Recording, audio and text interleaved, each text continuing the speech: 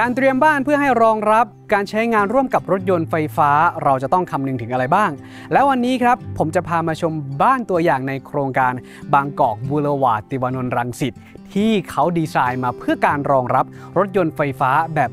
100%จะมีอะไรที่น่าสนใจบ้างตามมาชมกันครับ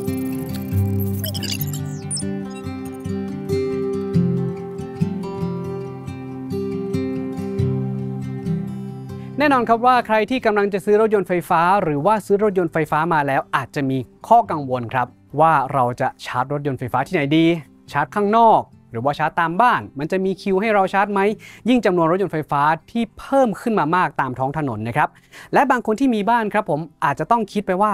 บ้านที่เราอยู่นั้น มิเตอร์ไฟเพียงพอหรือเปล่า เราใช้ไฟเฟสเดียวอยากจะเปลี่ยนเป็น 3 เฟสนั้นยากไหม หรือว่าระบบ ground หรือระบบไฟฟ้าต่างๆ นั้น เพียงพอดีพอสำหรับรถยนต์ไฟฟ้าหรือไม่นะครับ และในวันนี้ครับผมผมพาทุกคนมาชมบ้านตัวอย่างที่โครงการบางกอกบูรวาดติวานนท์รังสิตนะครับ ซึ่งบ้านในหมู่บ้านเหล่านี้ครับดีไซน์มาให้รองรับรถยนต์ไฟฟ้าแบบ 100% ซึ่งสามารถใช้งานได้พร้อมกันสูงสุดถึง 2 คันนะครับผม ผมจะพาไปดูระบบต่างๆ ที่ทางบางกอกบูรวาดติวานนท์รังสิตนั้นได้ออกแบบมาให้เรานะครับ โดยเริ่มต้นตรงจุดนี้เลยครับ ไปดูจุดชาร์จรถยนต์ไฟฟ้าครับ ซึ่งบ้านหลังนี้นะครับผมพิเศษสุดๆ คือเขาเดินสายไฟมาเพื่อรองรับการติดตั้งวอลชาร์จสำหรับรถยนต์ EV นะครับมากถึง 2 จุดเลยทีเดียวนะครับผมแล้วพื้นที่ที่จอดรถตรงเนี้ยเราสามารถจอดได้สูงสุด 3 คันนะถ้ามีรถยนต์ไฟฟ้านะฮะสองคันเนี่ยติดวอลชาร์จไปเลยนะครับผม1จุด2จุด และสามารถใช้อะแดปเตอร์ travel ได้ตรงนี้ด้วยนะครับผมดังนั้นเนี่ยมี EV 3 คัน สามารถชาร์จได้พร้อม ๆ กัน มาดูรายละเอียดของสเปคของสายไฟที่เขาเดินมาให้ดีกว่าว่าเขาเดินอะไรมาให้บ้างนะครับ บ้านหลังนี้ใช้มิเตอร์แบบ 3 เฟสครับ ไฟ 3 เฟสเนี่ยมิเตอร์ตัวนั้นรองรับกระแสสูงสุดนะครับผมเป็นขนาด 30ทับ100 แอมป์นั่นหมายความว่าถ้าเราใช้ชาร์จรถ ใช้เครื่องปรับอากาศ เครื่องทำน้ำอุ่น หรืออุปกรณ์ไฟฟ้าอะไรต่างๆ ในบ้านเนี่ยกระแสไฟนะฮะเพียงพออย่างแน่นอนครับ และจุดนี้ที่เขาเดินสายไฟมาให้นะครับผมเป็นการเดินแบบ 3 เฟสเช่นเดียวกันครับ มีสาย L1 L2 L3 สายนิวตรอนนะฮะสายกราวมาให้ ซึ่งระบบกราวของบ้านนี้ แท่งกราวจะอยู่ที่ 2.4 เมตร ซึ่งเป็นมาตรฐานตามการไฟฟ้าเขากำหนดมาให้นะครับ ดังนั้นเรื่องความปลอดภัยมาให้เต็มนะครับผมส่วนนี้เนี่ยเขาใส่เบรกเกอร์ขนาด 40 แอมป์มาให้ ซึ่งเป็นขนาดมาตรฐานที่เพียงพอสำหรับการใช้ชาร์จรถยนต์ไฟฟ้าอยู่แล้วครับดังนั้นเนี่ยข้อดีของบ้านหลังนี้นะครับถ้าเราซื้อรถมาแล้วเราจะตั้งวอชาร์จเนี่ยเราเอาแค่ตัววอชาร์จนะฮะมา ติดตั้งเข้าไปเลยนะครับ เพราะว่าระบบไฟทุกอย่างเดินพร้อมมาหมดแล้วนะครับ ไม่ต้องเสียเวลาเดินสายไฟใหม่ ไม่ต้องเสียเวลาเจาะผนังนะฮะบ้านก็จะไม่พังไม่ต้องทำสีอะไรเพิ่มเติม และประหยัดเวลาด้วยนะครับผม อันนี้แหละคือไฮไลท์สำคัญสำคัญนะครับ และอย่างที่บอกครับ เดินมา 3 เฟสนะฮะ ดังนั้นตัว wall charge ที่สามารถรองรับได้ จะจ่ายกำลังไฟสูงสุดอยู่ที่ 22 กิโลวัตต์นะครับ wall charge ของเทสลาเนี่ย 3 เฟสมาใส่เลย ปึ้งปึ้ง2ตัว นะครับสูงสุด 22K ที่ ออกมาได้นะครับอย่างที่บอกครับ ถ้าไม่พอมีรถมากกว่านั้นนะครับ อีกหนึ่งคันเสียบเป็นอะแดปเตอร์แบบ Travel Charger เข้าไปให้รถไฟฟ้าของเราได้เลยนะครับผมแล้วเราก็เข้าไปพักผ่อนในบ้านเลยนะครับผมอันนี้คือข้อดีของบ้านหลังนี้นะครับผมที่มีมาให้ แล้วนอกจากนี้เดี๋ยวผมพาเข้าไปดูข้างในก่อน นอกจากการรองรับรถยนต์ไฟฟ้าสูงสุดถึง 2 คันนะฮะรวมอะแดปเตอร์ Travel อีกเป็น 3 คัน แล้วยังมีเทคโนโลยีในบ้านนะครับอะไรอื่น ๆ ที่น่าสนใจบ้างนะฮะเดี๋ยวผมพาไปดูตามไปชมครับ ถัดจากทางฝั่ง EV ที่เราพาดูภายนอกตัวบ้านนะครับ เราเดินเข้ามาดูภายในตัวบ้านกันนิดนึงนะครับ ผมว่าบรรยากาศจะเป็นยังไงบ้างนะฮะ หลังที่เรามาถ่ายทำในวันนี้นะครับ เป็นบ้านสไตล์กูเอลนะครับ เป็นบ้านหลังที่ใหญ่ที่สุดของโครงการ โครงการนี้ได้รับแรงบันดาลใจนะครับ ผมจากพาร์คกูเอลซึ่งเป็นสวนสาธารณะแห่งหนึ่งนะครับที่ทางตอนเหนือของเมืองบาร์เซโลนาประเทศสเปน เราก็เลยเห็นสไตล์ การดีไซน์ การตกแต่งเนี่ย ในบรรยากาศรอบนอกของโครงการนะครับ เป็นเหมือนบรรยากาศของต่างประเทศนะครับ และอบล้อมไปด้วยธรรมชาติ เจนต้นไม้เยอะมากนะฮะ บ้านหลังนี้มีทั้งหมด 5 ห้องนอน 5 ห้องน้ำและรองรับที่จอดรถได้ถึง 3 คัน โซนชั้น1ครับ มีอะไรบ้างหลังจากที่เราเดินเข้ามานะครับในโซนที่เรายืนอยู่ณตรงนี้นะฮะ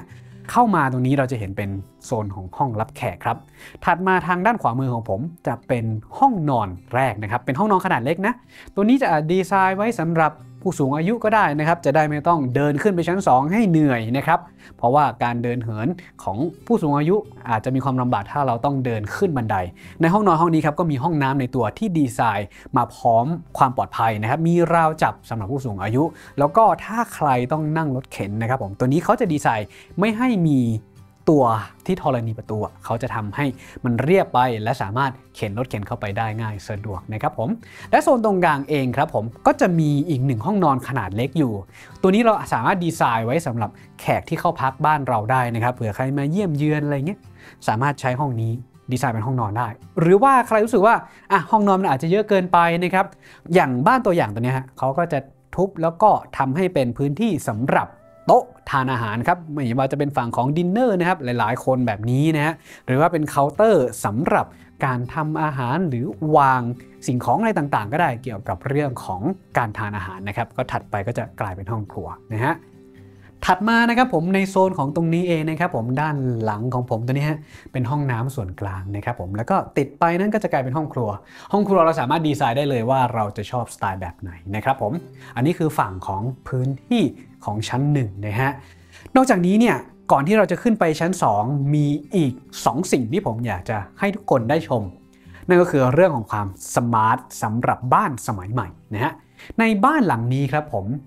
สิ่งแรกที่ผมอยากจะพาไปดูคือตัวนี้ฮะ นี่หน้าจอที่ติดอยู่ตรงนี้เป็น control panel นะฮะ รองรับระบบ touch screen นะฮะ สิ่งที่อยู่ภายในของหน้าจอตัวนี้นะครับ นั่นคือระบบความปลอดภัยของบ้าน หรือ Home Security นะฮะ บ้านหลังนี้ครับมีเซ็นเซอร์ไว้คอยตรวจจับดูแลเรื่องความปลอดภัยในบ้าน มีด้วยกันอยู่ 2 อย่างครับ คือเซ็นเซอร์ตรวจจับประตูหน้าต่างนะครับแบบแม่เหล็กไฟฟ้า ถ้าสมมุติมีการเปิดปิดหน้าต่าง โดยที่เราไม่อยู่บ้านนะฮะ เราอาจจะลืมไว้แล้วก็มีคนมาเปิดประตูหน้าต่างแล้วพยายามเข้ามาเนี่ยเขาจะมีการแจ้งเตือนให้เรานะฮะอันนี้เป็นเซ็นเซอร์แบบแม่เหล็กนะครับเดี๋ยวลองยกตัวอย่างให้ดูนะครับ ระบบ Home Security เป็นอย่างไรบ้างนะฮะนี่คือหน้าต่างหลังนะครับ เราลองแตะเข้ามาตรงนี้ฮะจะเห็นว่านี่คือประตูและหน้าต่างทั้งหมดที่มีอยู่ในบ้านที่ถูกติดตั้งเซ็นเซอร์เอาไว้นะครับที่เปิดและเป็นสัญลักษณ์อย่างนี้นะฮะหมายความว่าประตูหรือว่าหน้าต่างบ้านนั้นๆ ถูกเปิดอยู่นะครับ ก็กำหนดหมายเลขนั้นได้เลยผมลอง ยกตัวอย่างให้ดูอีกสักอย่างหนึ่งแล้วกันนะฮะถ้าผมเปิดประตูข้างๆนี้ครับนี่เปิดประตู นี่เปิดปุ๊บจะเห็นว่าประตูหมายเลขหนึ่งครับถูกเปิดครับ และมีเสียงแจ้งเตือนขึ้นมาด้วยนะฮะเราสามารถตั้งค่าได้ อันนี้จะทำให้เราได้ดูเลยว่าบานไหนนะฮะถูกเปิดขึ้นมาโดยที่ดูจากตรงนี้ แล้วถ้าสมมติผมปิดเข้าไปนี่ครับระบบตัวเซ็นเซอร์นั้นก็จะตรวจจับว่าประตูถูกปิดแล้วนะครับ อีกเซ็นเซอร์หนึ่งเป็นเซ็นเซอร์ตรวจจับแรงสั่นสะเทือนครับ ยกตัวอย่างกรณีที่มีผู้บุกรุกบ้านของเรา มีการใช้ค้อนทุบหรืออะไรต่างๆ เพื่อที่จะเข้ามาในบ้านของเราเนี่ยจะเป็นการตรวจจับแรงสั่นสะเทือน ส่วนนี้ครับพอมีการตรวจจับได้นะฮะเขาก็จะมีการแจ้งเตือนผ่านทางแอปพลิเคชัน ไปยังสมาร์ทโฟนของเจ้าของบ้าน และนอกจากนั้นครับยังแจ้งเตือนไปยังระบบรักษาความปลอดภัยกลางของหมู่บ้านเช่นเดียวกันนะครับ แล้วรปภเนี่ยก็จะสามารถเข้ามาดูได้เลยว่าเกิดอะไรขึ้นณบ้านหลังไหน นะฮะอันนี้เพิ่มความปลอดภัยนะครับผมด้วยเซ็นเซอร์ ชั้น 1 มี 2 เซ็นเซอร์ครับทั้งเรื่องของแม่เหล็กนะอย่างที่แจ้งไปและเรื่องของตรวจจับแรงสั่นสะเทือน แต่ว่าชั้น2ครับจะมีอยู่เฉพาะของแม่เหล็กนะฮะถ้าสมมติเปิดปิดหน้าต่างอันนี้รู้ได้เลยนะฮะนอกจากเรื่องของตรวจจับด้วยแม่เหล็กกับแรงสั่นสะเทือนแล้วยังมี smoke detector หรือว่าเครื่องตรวจจับควันครับส่วนนี้ถือว่ามีความจำเป็นนะครับผมผมเคยเจอกับตัวนะ ตอนนั้นที่อยู่บ้านของผมเอง คุณพ่อนะครับเปิดเตาแก๊สทิ้งเอาไว้ แล้วก็อุ่นอาหารอะไรสักอย่างหนึ่งแล้วลืมครับออกไปทำธุระข้างนอกลืม แล้วควันเต็มบ้านเลยนะฮะคือถ้าสมมุติว่าผมตื่นมาไม่เจอเหตุการณ์นะวันนั้นมันอาจจะเกิดไฟไหม้บ้านได้นะครับ แต่มันจะดีขึ้นนะฮะถ้าเราติดตั้งเครื่องตรวจจับควันเอาไว้นะครับแล้วก็มีการแจ้งเตือนเอาไว้นะซึ่งบ้านหลังนี้ครับมีให้เช่นเดียวกันนะครับ นอกจาก smoke detector แล้วนะครับผมในบ้านหลังนี้ยังติดตั้ง heat detector เอาไว้ด้วยนะครับผมในส่วนบริเวณของห้องครัวครับ ส่วนนี้จะช่วยเพิ่มความปลอดภัย ระหว่างการที่เราทำครัวครับผมอะถัดจากเรื่องของความปลอดภัยแล้วนะครับ มาดูอีกหนึ่งระบบที่ผมอยากจะให้ทุกคนได้ชม นั่นคือเรื่องของ Home Automation ครับ Home Automation หรือว่าระบบ IoT ในบ้านเราเราอาจจะคุ้นเคยกันบ้างแล้วนะครับ รู้ไหมว่าถ้าเป็นบ้านหลังเก่าๆเราก็ต้องซื้อมาติดตั้งเพิ่มเติมนะแต่ในบ้านหลังใหม่ๆนะครับผมอย่างเช่นบ้านตัวอย่างหลังเนี้ยเขามีระบบ Home Automation ติดตั้งไว้ให้เรียบร้อย ส่วนนี้สามารถทำอะไรได้บ้างนะครับ เปิดปิดไฟนะฮะเปิดปิดเครื่องปรับอากาศ สามารถตั้งค่าได้นะครับ ผ่านระบบ ตั้งการเปิดปิดตามเวลาก็ได้ หรือว่าตามสิ่งที่เราต้องการก็ได้ ถามว่าทำไมต้องมีด้วย บ้านหลังใหญ่ ๆ ขนาดนี้ สมมุติเรากลับมาถึงที่บ้าน เปิดประตูเข้ามา และเราอยากจะเปิดไฟ การที่เราจะเปิดไฟเราก็ต้องมาเปิดสวิชหนึ่งสวิชสองสวิชสามใช่ไหมกว่าจะครบในจุดที่เราต้องการ แต่ว่าด้วยตัวนี้ครับเราสามารถเซตได้เลยว่า สมมุติเข้ามาในบ้านปุ๊บเราอยากจะเปิดไฟทุกดวงได้เลยนะครับเราก็ตั้งเอาไว้นะฮะแล้วเราก็มากดเปิดกดปิดตรงนี้ได้เลยนะครับมันก็จะเปิดปิดได้เลยโดยอัตโนมัติ มันก็จะเพิ่มความสะดวกนะนี่ฮะที่เขา built-in มาให้นะครับผมสามารถ ตั้งค่า set up ได้เลยนะครับผมถือว่าเป็นสิ่งที่ดีนะฮะสำหรับบ้านยุคนี้ โดยที่เราไม่จำเป็นจะต้องมาติดตั้งเพิ่มเติมทีหลังนะฮะเพราะบางที smart home บางอัน อาจจะต้องเดินสายดินมาเกี่ยวข้องด้วยพวกสวิตชไฟอย่างเงี้ยบางคนไม่ได้เดินสายดินมาไม่สามารถติดตั้งต่อได้นะครับหรือบางอันติดเข้าไปแล้วมันอาจจะไม่ได้สวยงามนะฮะแล้วก็ใช้งานอาจจะไม่ได้ทนทาน แต่ว่าตัวนี้ครับในบ้านหลังนี้มีมาให้นะครับ เดี๋ยวต่อไปเราเดินไปดูชั้น 2 กันครับ เราขึ้นมาชมชั้น 2 กันบ้างนะครับว่าบ้านหลังนี้มีความพิเศษอะไรบ้างนะครับผม ตอนนี้เรายืนอยู่ที่กลางบ้านนะครับ ตรงโถงใหญ่นะในชั้น 2 ครับ มีห้องนอนอยู่ทั้งหมด 3 ห้องครับ ประกอบไปด้วยห้อง Master Bedroom ที่อยู่ด้านหลังของผมนะครับ เป็นห้องนอนใหญ่มากที่สุด แน่นอนครับว่ามีทางฝั่งของ Closet ด้วยนะ เราเซตอัพเป็น Closet ได้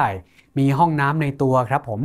ฝั่งต่อมานะครับเป็นห้องนอนที่มีขนาดเล็กกว่า Master Bedroom นะครับ เป็น ตัวรองมา ตัวนี้สามารถดีไซน์ได้ว่าเราจะเอาไว้ให้ใครนะฮะ อย่างเช่น Master Bedroom ให้กับคุณพ่อคุณแม่ แล้วก็ห้องนอนที่2นะครับอาจจะเป็นลูกคนโต แล้วก็ห้องนอนที่3อยู่ด้านหลังนะครับ เราดีไซน์ไว้ให้ลูกคนเล็กก็ได้นะครับผม พิเศษมากกว่านั้นครับ ที่ผมชื่นชอบมากเลยคือบริเวณโซนกลางของบ้านตรงนี้ครับ เราจะเห็นโถงบันไดอยู่นะ หลาย ๆ บ้านเป็นโถงบันไดแล้วก็จะมี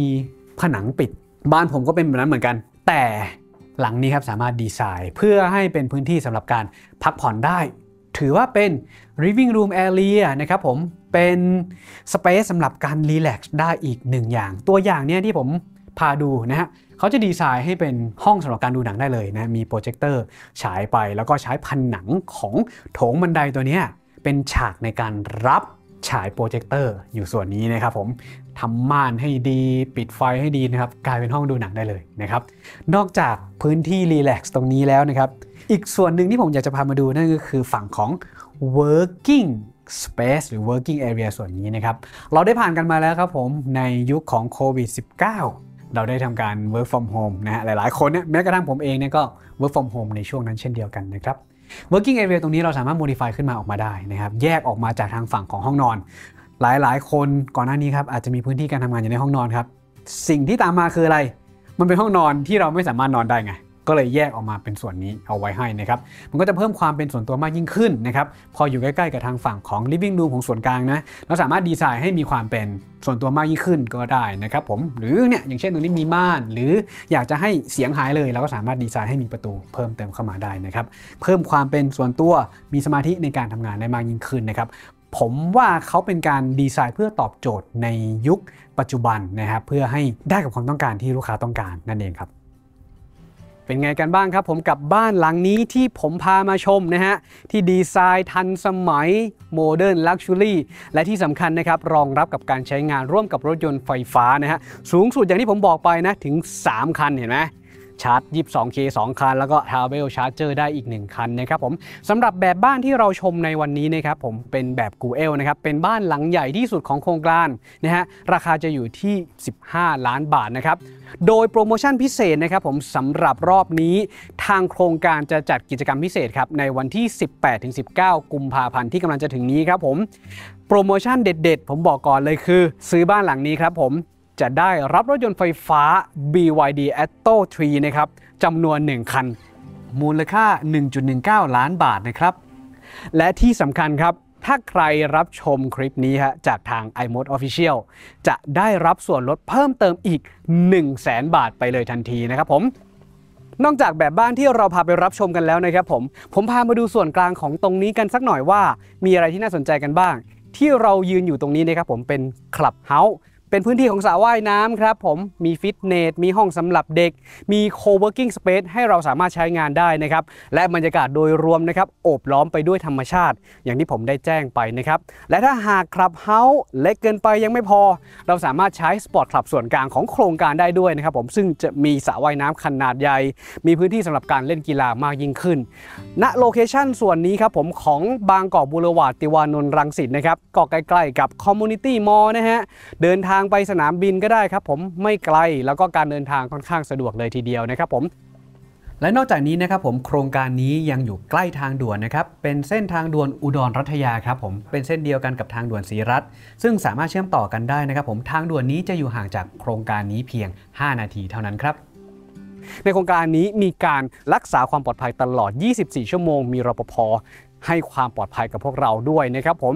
สำหรับพิกัดของโครงการบางกอกบุรวาดติวานนท์รังสิตนะครับเดี๋ยวผมจะแนบลิงก์ของ Google Map ไว้ให้ที่ใต้คลิปนี้นะครับพร้อมกับเบอร์โทรการติดต่อ และช่องทางการติดต่ออื่นๆนะครับผมเดี๋ยวผมจะขึ้นไปให้รับชมเช่นเดียวกันนะครับผมสำหรับในคลิปนี้ครับผมผมต้องไอ้มดคงฝากไว้เพียงเท่านี้นะฮะไว้เดี๋ยวเราพบกันในรอบหน้าสำหรับรอบนี้ขอบคุณและสวัสดีครับ